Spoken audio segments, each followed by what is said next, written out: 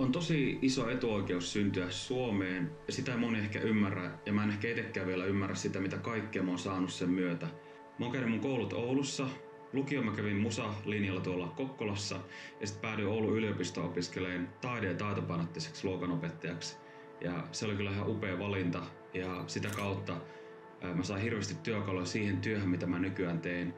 Opin johtamista, Mä opin erilaisia taidehommia, kuvaamista, luovaa työskentelyä ja siitä koulutuksesta on mulle tosi paljon ollut hyötyä tässä poliitikon työssä. Mä uskon, että mä oon jollain tavalla pystynyt tuomaan politiikkaa lähemmäksi tavallisia suomalaisia ja varsinkin, suom, niin varsinkin nuoria, koska politiikka on ollut pitkään jotain sellaista, mistä ihmiset ei ole ehkä jotenkin kiinnostunut, moni ei ole välttämättä ehkä ymmärtänyt, mitä siellä tehdään, vaikka ne päätökset vaikuttaa joka päivä, joka ikisen ihmisen elämään hyvin konkreettisella tavalla.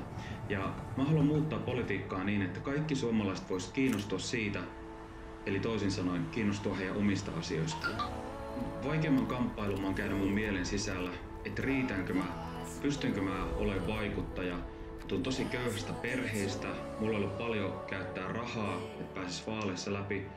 Mutta sitten mä menin pienimmällä budjetilla omasta vaalipiiristä kaikista kansanedustajista läpi.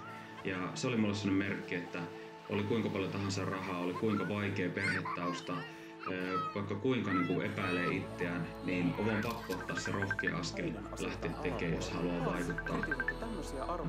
Mä haluan ajaa turvallisempaa Suomea ja mä uskon, että me voidaan saavuttaa ja sen lisäksi mä toivon, että Suomi voi olla sellainen malli muualle, maa, niin kuin muulle maailmalle, että miten asiat kannattaa tehdä niin, että kaikista pienimmistä pidetään huolta.